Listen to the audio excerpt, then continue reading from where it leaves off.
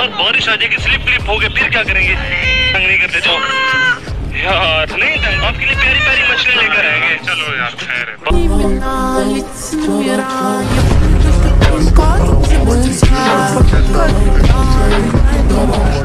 चलो यार खैर